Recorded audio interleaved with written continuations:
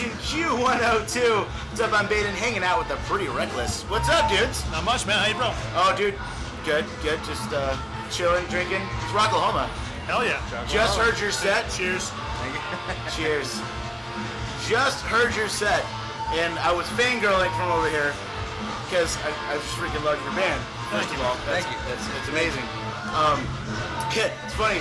I sent my wife up there with the photo pass, and she said her lens was too big, and it was like uh, 18 to 50. They all say that. Yeah. See, my lens is big. She used my camera. Of course. My lens is big. It's big. So, I was uh, wanting to. You, you guys have talked about this new album so much, I'm sure. You know, it's, you do this all the time. But I can't stress enough how fucking badass this new album is. Thank you, brother. Like, I I did not know what to expect. I knew from uh, Light Me Up to uh, Follow Me Down, right? Title. Go Down. Go go go yeah. Yep. And then and then this one. It's been kind of like this, almost like purifying in a way. It's, I feel like there's less um, less effects and studio involved. It's more it's Yeah. more real rock and roll. Like Yeah, that's that's accurate. O- On this record, we very much tried to strip it down to a band playing, catching the vibe of the band and the, the players involved, catching that personality, catching you know all tracking together, making a real rock record that uh, we feel sometimes is missing in rock and roll these days. There's too many studio tricks. Too, it's too uh, too much of a. Uh, it's too easy to make things perfect. Right. And see, like, okay, let me. I have to guess on. I have to guess on a guitar amp. Um, Marshall. It's like, is it? It just sounds like it. Just sounds like the growl, you know. A, lo- a lot of that record was actually there's a bunch of bunch of uh, amps on there, but a lot of it was the Wizard, what? a Wizard amplification. Oh. Of, uh, Cornwall, Ontario. It's a a really badass amplifier. It's what Ben uses live. Uh, it's what I, I use a, the Wizard cabinet from my bass amp. Crazy. It's uh, some uh, ridiculous, ridiculous uh, gear. Dude, that that tone though. Yeah. I'm gearheading. All right. I know this isn't the typical, you know, interview, but I'm I'm going to gearhead because I've been wanting to ask these questions since I listen to all these albums. Yeah. So here we are. Yeah, it's uh, it's one of those things. You know, the, the Wizard amplification uh, stuff is so amazing. You know, just just really, it takes what you have and just opens it all up wide. It's just amazing stuff. Uh, Rick St. Pierre is the guy who was behind it. Uh, he was with uh, ACDC for years. Oh, yeah. Their amp uh, amp guru.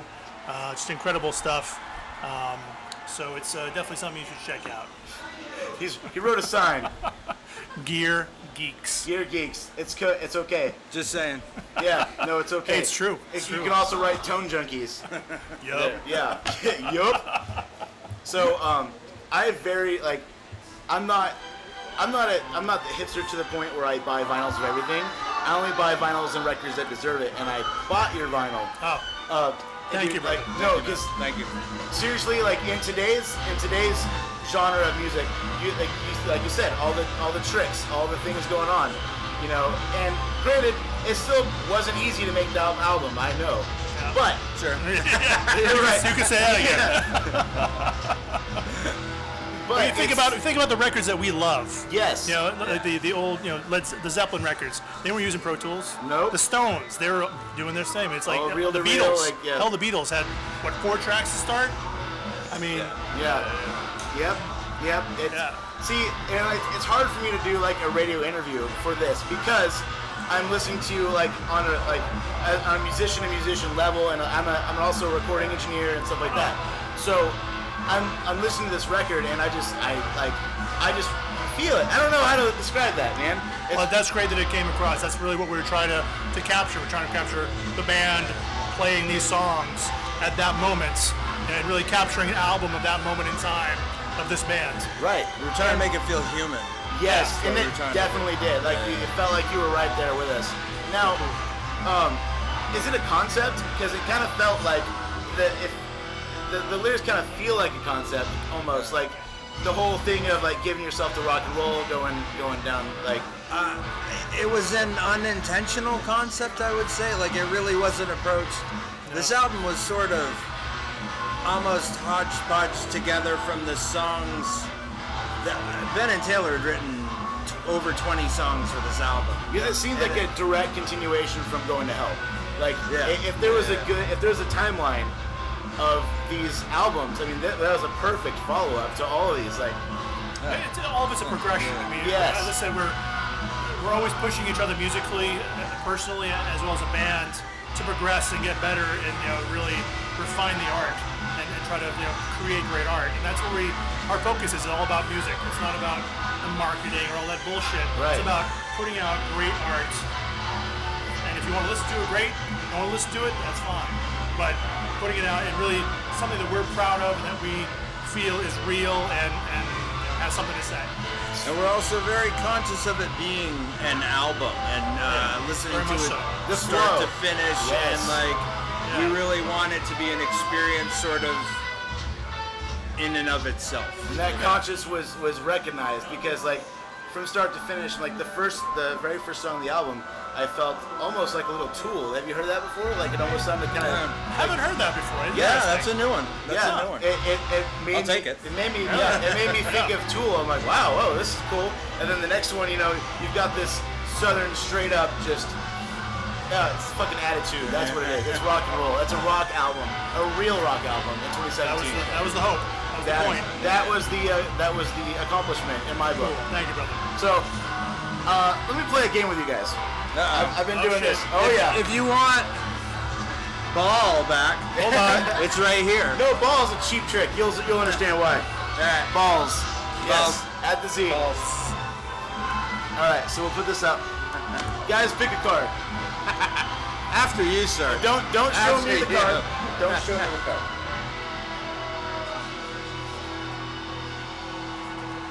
All right. You guys, you guys got it? Sure, I'm gonna grab this random one right here. All right. So, when's the last time you guys played with Play-Doh? Truthfully, It's been a long time. a couple months ago. Yes. You got kids? Play-Doh's awesome. So, what I'm gonna do, I see where this is going. I see where this is going. we're gonna have 60 seconds Alright. to make whatever on your card. I'll draw a card too. Can we open it this first? Yes, we'll open it. and We'll Alright. get set up first. But first, show show the camera your card. I'm not gonna look because because I got called out by John from Skillet earlier. He's like, "You're Don't let cheating." happen, bro. Yeah, yeah. We'll get this out and we'll get it ready. I, I'm gonna say this is the absolute wrong color for what I got. Well, yeah. Oh, Keep it- keep it- yeah, yeah, yeah. I tried to be relevant, okay? All right. Uh, it's been a long time. Yeah. It's been a long time. All right. This still feels awesome. I tried to eat this earlier. Did you know that this is super A salty? salty. Yes. Salty, yeah. I fi- In fact, I do. Don't ask why. right. I figured it'd be cool to like like put it on a steak and it would be just fine. It's non-toxic. The guy pointed out to me. They tell you it's not toxic. Yeah. I mean, you never know This anymore. can't be good for you. Right. All right. Cigarettes Where started out being fine for you too. Oh crap! What is that drawing?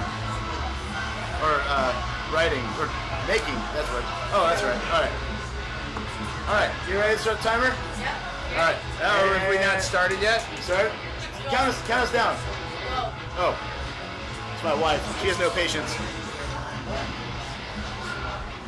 I'm not going near that with a 10 foot pole. Right.